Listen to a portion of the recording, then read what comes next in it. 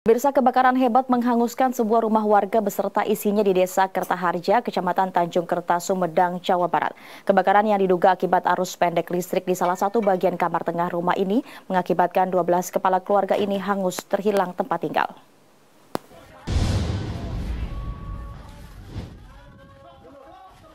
Seperti inilah kobaran api yang membumbung tinggi saat terjadinya kebakaran di lingkungan padat penduduk Dusun Bojong Berot, Desa Kertaharja, Kecamatan Tanjung Kerta, Sumedang, Jawa Barat, Selasa malam.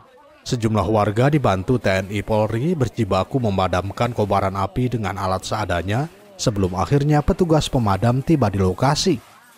Menurut pemilik rumah, Dede, kebakaran terjadi sekira pukul 17.30 waktu Indonesia Barat saat dirinya baru pulang mencari rumput. Dede yang mendengar suara di bagian kamar langsung melihatnya setelah dilihat api sudah menjalar ke seluruh rumah itu dari listrik. Ya, terus awalnya pertama saya datang, hmm. habis mencari rumput, hmm. begitu masuk ada bunyi kletek-kletek gitu. Nah, itu kira-kira jam berapa Pak kejadiannya Pak? Setengah tujuh Pak, habis maghrib. Ya. Kalau penyebabnya sendiri kira-kira apa Pak? Saya kurang tahu, kurang paham hmm. Pak.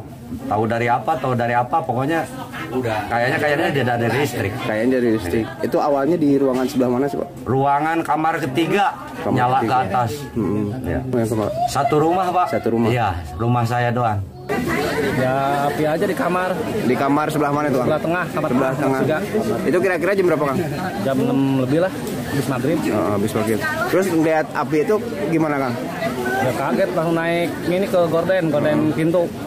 Langsung ke atas aja ke kendeng. Oh, gitu. Dilakukan oleh warga atau gimana? Warga, dilakukan sama warga, warga ya? ya. Tidak ada korban jiwa dalam kejadian ini. Api yang hampir merembet ke rumah lainnya berhasil dipadamkan oleh petugas gabungan dengan mengerahkan satu unit mobil pemadam kebakaran. Akibat kebakaran ini, pemilik rumah mengalami kerugian yang ditaksir mencapai puluhan juta rupiah. Dari Sumedang, Jawa Barat, kontributor Nusantara TV, Aang Andanugraha melaporkan.